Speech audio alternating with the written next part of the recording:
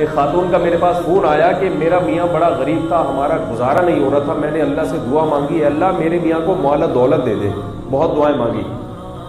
मुझे उसी वक्त अंदाज़ा हुआ, ये दुआई गलत मांग रही है। ये दुआ क्या मांग रही है? बोलो भाई, मांगनी ये दुआ चाहिए थी कि अल्लाह मेरे मियाँ के रिस्क में बरकत दे दे। भले तनख्वाह बढ़ा नहीं बना, रिस्क में बरकत हो। दुआ क्या मांग रही है? अल्लाह मेरे मियाँ को मालो दौलत बहुत ज़्यादा दे दे। अब जब मियाँ जी के पास मालो दौलत आया तो वो ट्रैक से हट गए पटरी से अब उनको वो जो पुरानी गरीब बीवी थी, वो अच्छी,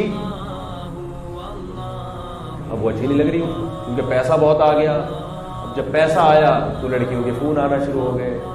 रिबन जब देखा कि यहाँ रिबन है, परफ्यूम बहुत महँगा है, घड़ी बड़ी महँगी है, मोबाइल बहुत महँगी है, जब ऑफ़िस जाते थे तो ज़ाहिर है ऑफ़िस में जो लड़कियाँ काम करती थी, वो देखती थी, घड़ी बहुत, मेरी इतनी महँगी नहीं है जो मैं यूँ इशारा कर रहा हूँ। घड़ी बड़ी महँगी है, चश्मा बड़ा अच्छा लगा हुआ है और ये भाई सूट बूट और गाड़ी देखो।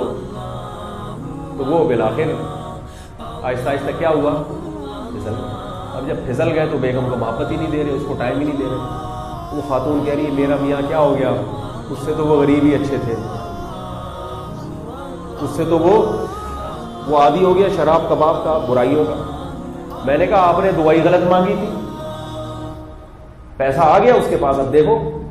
और मैंने कहा, गम ना करें, थोड़े दिन में ये वहीं आ जाएगा दोबारा। थोड़े दिन में ये उसी मकाम पे वापस आके, क्योंकि जब पैसे का ये वाला इस्तेमाल होता है ना तो अक्सर रिपोर्ट यही है।